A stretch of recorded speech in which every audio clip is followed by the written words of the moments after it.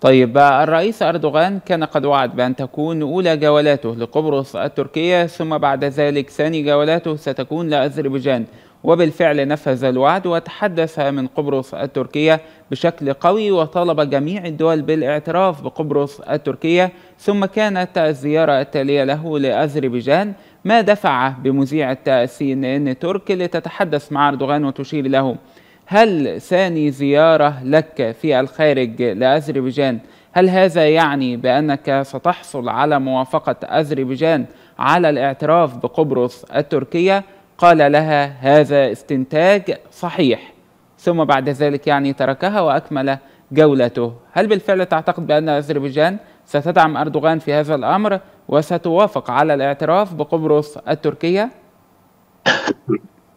بالتأكيد أنا حسب يعني معرفتي وحسب يعني متابعتي للأحداث يعني. عندما إذا كان ناخذ العلاقات الثانوية بين جمهورية آذربيجان وجمهورية تركيا دولة تركيا حقيقة علينا أن نقول نعم إنه جمهورية آذربيجان حليفة لتركيا شقيقة لتركيا وهناك من الإيمان يعني لجمهورية اذربيجان انه هذه الجزيرة أو هذه الأراضي هي تركيا فلا أتصور تتأخر جمهورية اذربيجان بالاحتراف وأتصور هذا من الصواب يعني ولا أتصور هناك أحدا يقول غير هذا. اولا تركيا شقيقة جمهورية أذربيجان وأكيد هناك قناعة عند جمهورية أذربيجان أن هذه الأراضي تركية وهذا الشعب تركي فأكيد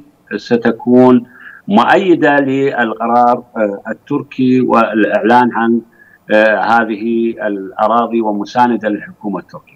طيب وقت الانتخابات كان هناك حملة شرسة من قبل الصحف الأوروبية تستهدف أردوغان لكن بعد نتيجة الانتخابات تغيرت هذه اللهجة وتبددت هذه الحملة أدراج الرياح كيف ترى هذا الأمر؟ بالطبع إحنا علينا أن نشير لأمر إنه هناك كانت يعني ما تسمى أنفسهم معارضة يعني وكان لهم نشاط إعلامي يتصور الإعلام الغربي والأوروبي وهو أيضا يدخل في المصالح والمصالح الإقليمية أو المصالح الذي للغرب في المنطقة فقام بهذه الهجمة. أتصور هو على خلفية ما كانت يتحدث بها المعارضة أنهم قوة قوية ممكن أن تواجه الحكومة التركية أو السيد أردوغان.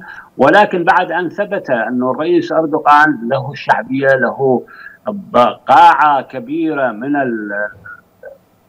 يعني الحلفاء على الأراضي التركية يعني من الشعب التركي. أتصور الصحافة الغربية غيرت وجهة نظرها أن رأوا الواقع على الأرض. عندما احتضن الشعب التركي الرئيس أردوغان ثبت لهم وثبت لغيرهم أنه رئيس أردوغان أقوى مما يصفه المعارضة أو يصفه أعداء تركيا خارج الحدود